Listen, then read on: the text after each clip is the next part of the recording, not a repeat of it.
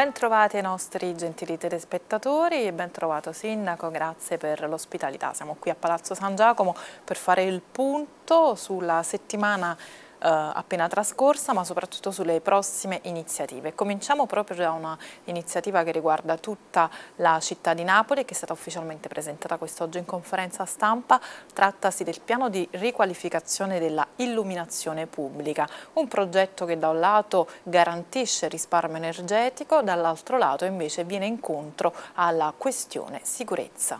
Sì, è una giornata importantissima per la nostra città perché è stata aggiudicata la gara sulla illuminazione pubblica in città, si parte da questo mese per, nel giro di due anni, quindi nel 2017 e nel 2018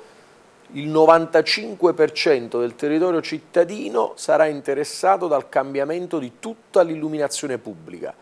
quindi arriverà dove non c'era ancora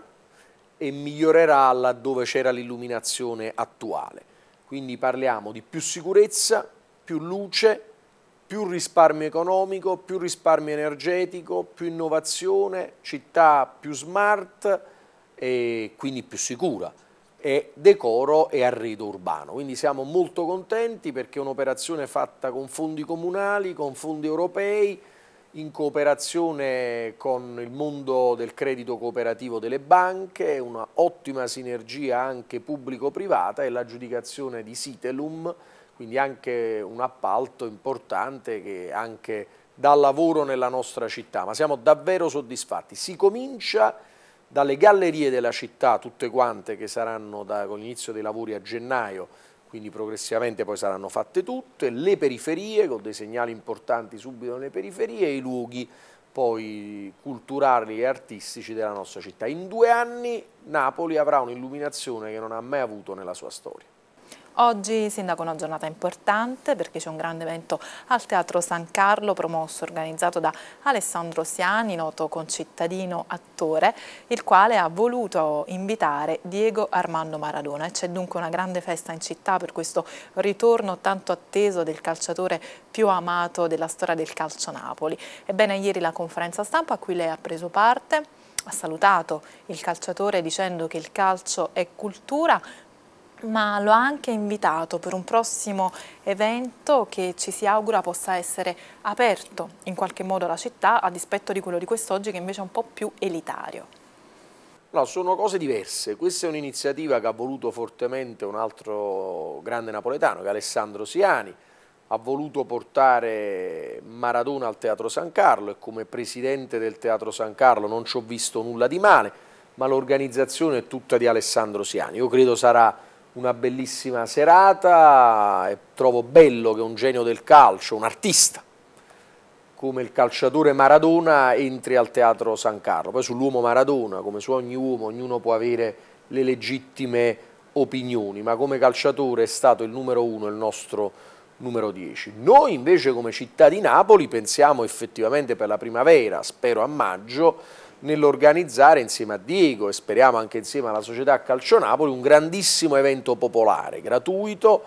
preferibilmente allo Stadio San Paolo, altrimenti anche a Piazza Plebiscito in quell'occasione, oltre che abbracciare Diego nel ricordo dei 30 anni dal primo scudetto, conferirgli anche la cittadinanza onoraria. Tra l'altro Diego si sente napoletano perché ieri conferenza stampa nel dire che il Teatro San Carlo è il teatro più bello del mondo, ha detto siamo fortunati perché ce l'abbiamo noi napoletani, quindi egli già si sente formalmente anche cittadino napoletano. Parliamo del sondaggio sindaco che è stato presentato, svolto dal Sole 24 Ore, che stila una classifica dei sindaci italiani più amati dalla cittadinanza, dalla popolazione e lei si trova praticamente al quarto posto con un 60% di gradimento.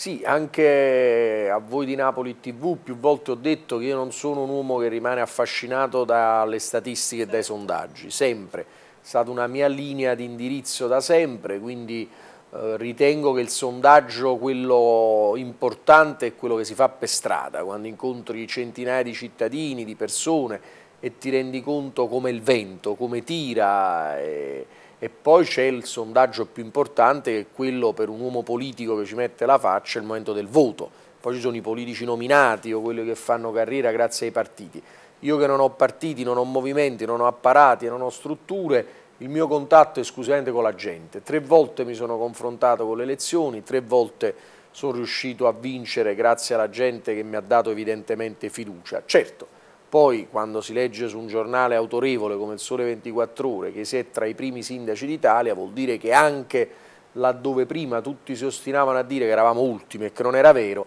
evidentemente il vento del cambiamento sta colpendo anche i più scettici, quindi questo significa per noi non crogiolarci, perché anzi siamo sempre molto attenti a non farci girare la testa, ma lavorare e lavorare esclusivamente nell'interesse di Napoli e dei napoletani.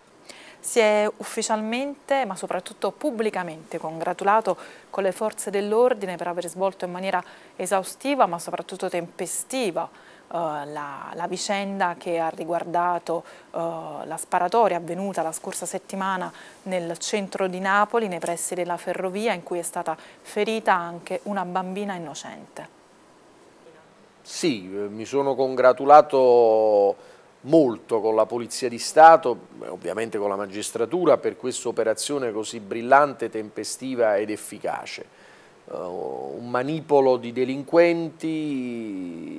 ha colpito due simboli della Napoli del Rinascimento, i bambini, colpendo una bambina innocente di 10 anni, e quattro esponenti della comunità migrante senegalese che si erano opposti a pagare il pizzo e che poi hanno dato il loro contributo, come tanti di noi, per ricostruire rapidamente giustizia e verità e ci auguriamo che la Polizia di Stato abbia individuato gli effettivi responsabili della vicenda criminosa, che poi sarà la magistratura nella sua autonomia, prima nella fase inquirente e poi in quella giudicante, di accertare le responsabilità. Noi ci costituiremo parte civile, perché Napoli è stata danneggiata ed è danneggiata la Napoli che cambia, anche quel cambiamento di cui alcuni si ostinano a non vedere e che quindi le vittime di quell'atteggiamento sono innanzitutto la stragrande maggioranza dei napoletani che sono persone per bene, la città di Napoli, oltre che ovviamente i quattro senegalesi e la bambina, prime vittime di questo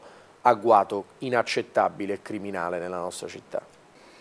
Chiudiamo Sindaco con questo asse Sindaco De Magistris Saviano, questo tantan botta e risposta, una polemica che ha coinvolto tantissimi opinion leader, si è esposto anche John Woodcock, il quale però invita ad una stretta di mano. Ribadiamo però la sua posizione, lei ha detto io da Sindaco di questa città non posso non rispondere ad accuse che vengono mosse, soprattutto quando vengono dette delle cose non vere, da chi questa città non la vive nel quotidiano.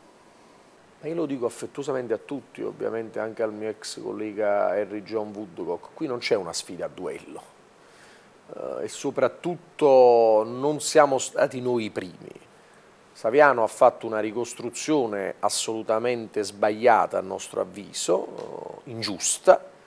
Io che sono il sindaco di Napoli ho sentito il diritto dovere di ricostruire uh, i fatti nella loro compiutezza. Detto questo, se vedete le mie dichiarazioni da 5 anni, da 6 anni, più volte ho invitato Saviano a un incontro, a venire a Napoli, a confrontarsi, a dare una mano, quindi non sarò certo io a non tendere la mano a Saviano come ad altri. Noi siamo persone di dialogo, siamo persone di pace, però siamo anche persone di giustizia. Se qualcuno scrive pagine ingiuste, noi siamo naturalmente ribelli a tutto questo perché stiamo costruendo una città ribelle nei confronti dell'ingiustizia, ma lo facciamo senza arroganza, qualche volta anche con un po' di ironia, qualche volta con una certa ricostruzione dei fatti che qualcuno vuole negare. Insomma, noi non ci estineremo mai a raccontare la Napoli bella, la Napoli che cambia, insieme al racconto, come abbiamo fatto sinora, dei problemi, delle cose anche difficili, delle cose tristi, perché l'amore è grande quando si amano anche le cose difficili, le cose complicate, le cose complesse che ogni giorno cerchiamo di cambiare. Quindi se Saviano vuole, se Saviano vuole venire a Napoli, la vuole vivere anche solo per qualche ora, vuole fare quello che ritiene, noi non ci gireremo mai dall'altra parte, siamo sempre pronti a tendere la mano, lo dico a Woodcock, lo dico a Cantone, lo dico a tutte le persone che, bontà loro, in questi giorni si sono premuniti di fare un appello alla pace, il sindaco è un grande uomo di pace da questo punto di vista, anche se molto piccolino rispetto ai tanti colossi che ogni giorno insomma ci, ci dedicano più o meno e ci aiutano nel, nel portare avanti la nostra città. Grazie Sindaco, buon lavoro.